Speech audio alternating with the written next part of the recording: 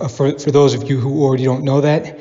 And uh, I'm going to talk a little bit about his who he is as a character, uh, as well as his significance in relation to the events of the Dune saga, as well as his role as the Kwisatz Haderach, or the presumed uh, Bene Gesserit chosen one. So let me get into this. Uh, so Paul, Paul was actually um, uh, born on Caladan, the, the home planet of House Atreides, uh, in 10,175 AG, and um, he was born. To, uh, he was born to Duke Leto Atreides and his Bene Gesserit bound con- concubine, Lady Jessica, and um, he was also the older brother of uh, Alia Atreides, who was born later on Arrakis. Uh, now, um, it's interesting to note that Paul was actually the um, not not was was kind of um, not was was kind of an accident in terms of what the Bene Gesserit had planned. Um, it was actually the Bene Gesserit who wanted uh, the Lady Jessica, Paul's mother, to um, have a daughter instead of a son with uh, with Duke Leto.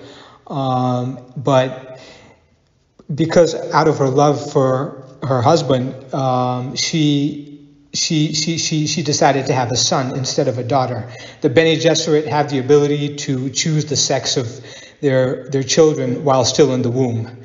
So she, uh, she, because the Duke wanted a son, she uh, voluntarily, uh, you know, decided to have uh, a son instead of a daughter against the wishes of the Bene Gesserit sisterhood. Uh, the Bene Gesserit sisterhood wanted to breed um, a Atreides' daughter with the Harkonnen uh, male, uh, Harkonnen heir, um, fade, Feyd-Rautha Harkonnen in this case, uh, to, produce, to produce the Kwisatz, the desired Kwisatz Haderach, but it didn't go according to plan. Uh, so Paul, Paul Atreides was actually kind of a wild card uh, in relation to the, uh, to the scheming of the Bene Gesserit. He, was, he was an unexpected um, um, uh, a product of, of, of, of, a plan that, that uh, was supposed to go another way. So as Paul, you know, Paul um, was described physically, he was described as uh, a small boy with an oval face, with uh, tousle coal-colored hair and green eyes. His oval face uh, was reminiscent of his mother Jessica's, uh, but he had uh, stronger bones and a brow line more reminiscent of his maternal grandfather. And uh, he had a thin, um, dis- disdainful nose, as well as long eyelashes, and uh, a certain a certain hardness and ex- a softness, but uh, but um, a, firmness in, in, in his facial expression, kind of sim- similar to how his dad his dad kind of looked like that, and his grandfather uh, also had that same Atreides hawk-like look. So, um, you know, as the son of a duke and a major, uh, being being the scion of a major house in the Landsraad, uh, Paul grew up with a privileged. Uh, a privileged background. Uh, he grew up in a privileged environment. You know, uh, priv- he had a privileged childhood on the water-rich planet of Caladan. Um, uh, even though he lacked companions of his own age, uh, he received, you know, training from his uh, from his from his teachers, like men like you know Thufir Hawat, the Mentat, who trained him in the in the ways of politics and administration, and Duncan Idaho and Gurney Halleck, who trained him in the way ways of single-handed combat, uh, battle battle tactics, you know, strategy and war. Uh, as well as uh, some of his training from Dr. Yui. Uh, so he had a good, a deep education growing up as a young, as a young, uh, as a young man in uh, on on on Caladan. As and, and, he had his mother who taught him the Bene Gesserit methods and and, t- and, techniques. So he he grew up to be a well-rounded young man. Who, who, had um, training in multiple disciplines. So shortly after his 15th birthday, uh, this this wasn't this what I'm about to tell you wasn't really revealed. Uh, I don't think it was revealed in the in the film adaptations of Dune. Maybe not even in the novel. I don't know. But uh, Paul's father, Duke Leto, wanted him wanted Paul to actually become a mentat. Uh, uh, so I mean that because being a mentat would have given him the logistical capability of being one of the most feared and respected, uh, not feared, but the most respect, one of the most respected, intelligent, and prominent uh, dukes in the Imperium. Um, because the mentat's uh, uh, mentat's capacity for for logic and, and and choosing the best possible outcome in any given situation was uh, was uh, was not to be taken lightly. Um, so I mean, he would have been a formidable force. Uh, but he didn't, even though he didn't formally go through any kind of mentat training, he had a lot of other, importantly, as I said before, he trained with the Bene Gesserit, who um, who taught, I mean, his mother was a Bene Gesserit, so he learned a lot of valuable skills from her. Uh, so he was tested by uh, Reverend Mother Gaius, Gaius Helen Mohiam with a Gom Jabbar needle, um, and, and, and he proved successful in this test. He was able to successfully pass the test. And and uh, and the Reverend Mother was, even though she didn't reveal reveal it to him openly, she was very impressed with his abilities. So uh, the events of, of the of the of the Dune saga would unfold, and Paul Paul and his family would be re- relocated to House Atreides to Ara- to Arrakis after House Atreides won the fiefdom. Uh, well, the Emperor had given given House Atreides the fiefdom of Arrakis, um, but this was actually a trap though because the Emperor and the Harkonnen wanted to bring House Atreides down on Arrakis, so they would eventually, I mean not only I mean he they would they would attempt they would attempt to take his to to kill to, to murder Paul on Arrakis. The Harkonnen would uh, um, possibly with the Emperor's in, in involvement in um, in in in, in um, when they put a hunter seeker in his bedroom and he was able to successfully out uh, outmaneuver the, the hunter seeker and destroy it in time so that assassination plot failed but when the um, Emperor the Harkonnen attacked on Arrakis, uh, his father was killed, and uh, him and his mother were forced to flee into the desert. They escaped into the desert, and eventually they'd meet up with the Fremen,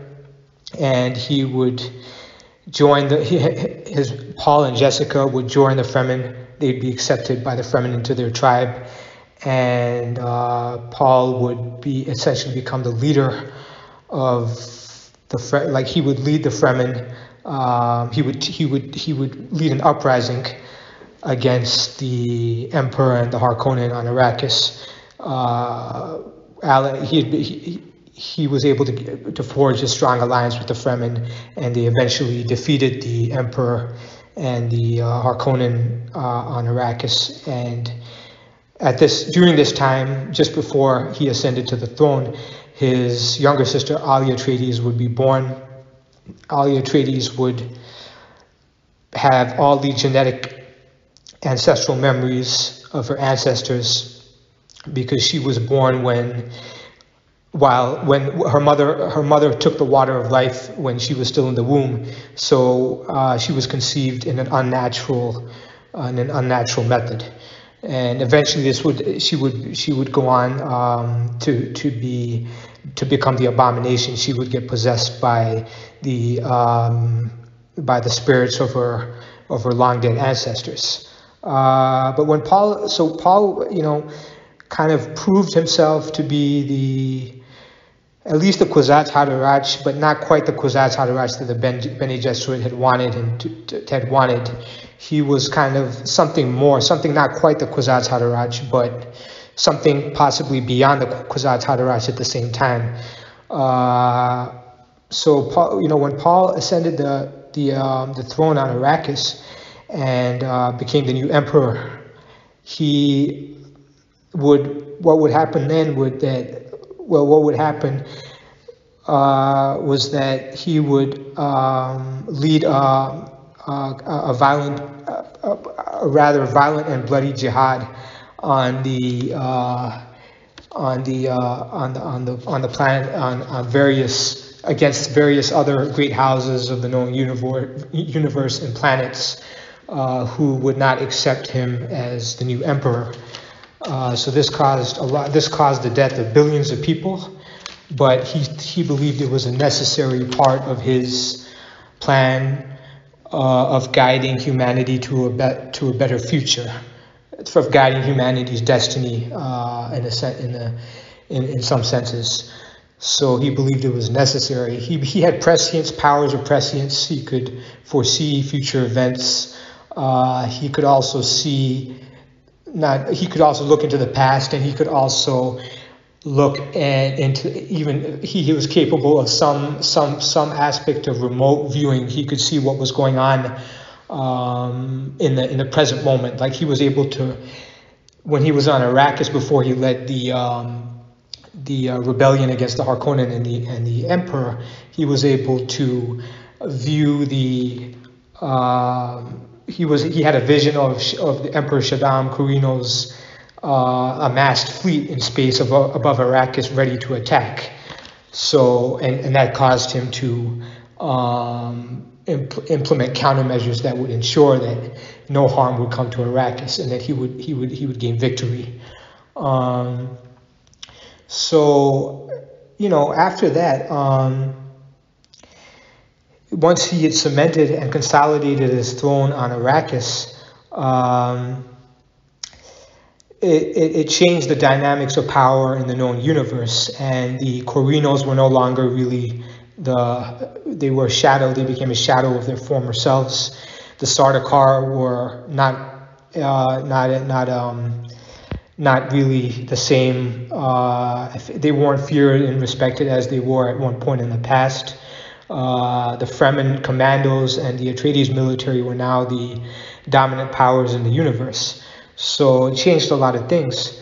And Paul had a vision for Arrakis. He believed that he could trans- transform it into a green and fertile world. Um, and he, he thought that this was a necessary part of, uh, he thought it would be ne- necessary to do this.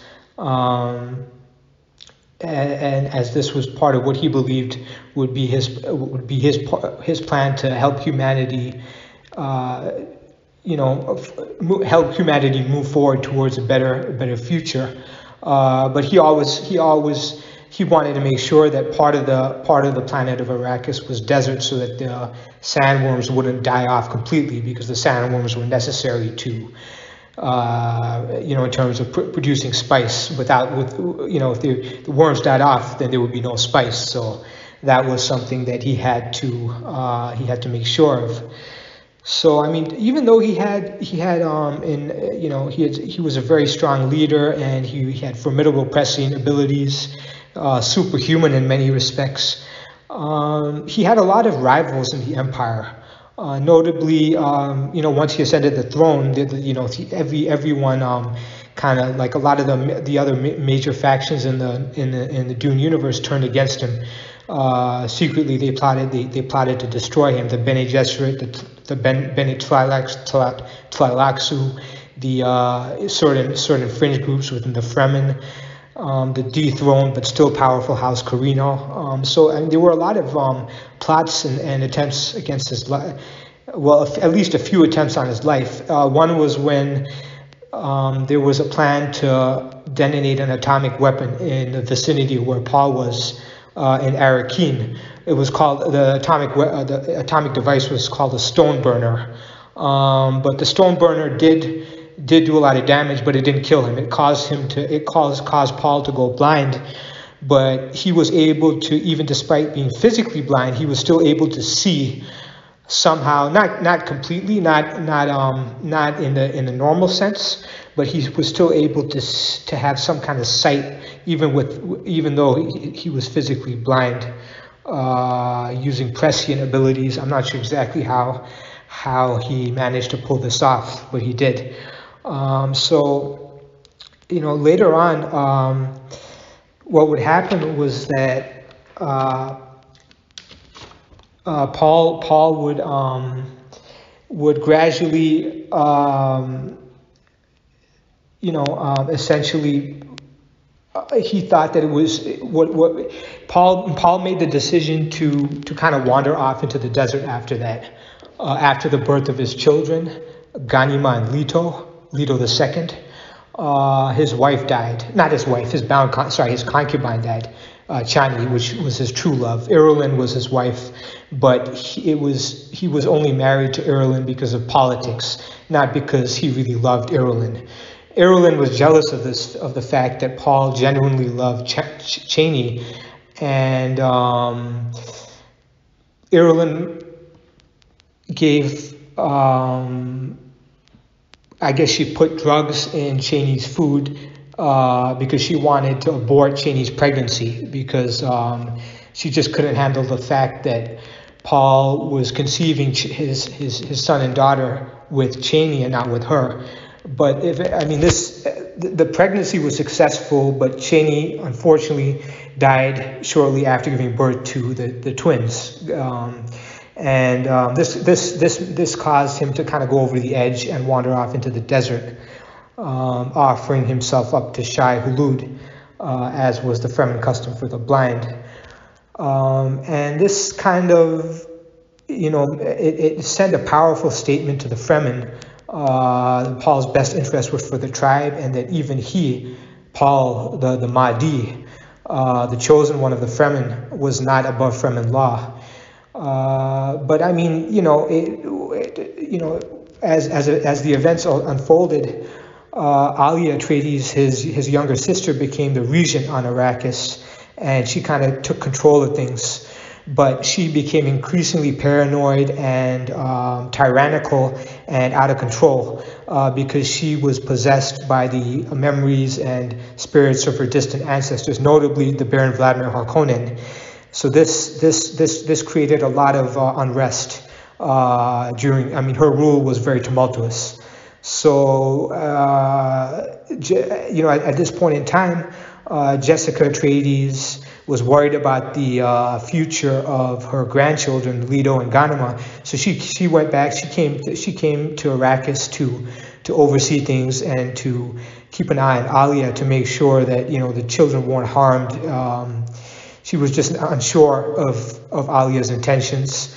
So eventually what would happen was that Alia would, would go out, would, would go get worse and worse, and she would she would eventually take her own life because the possession had become uh, beyond anything that she could control.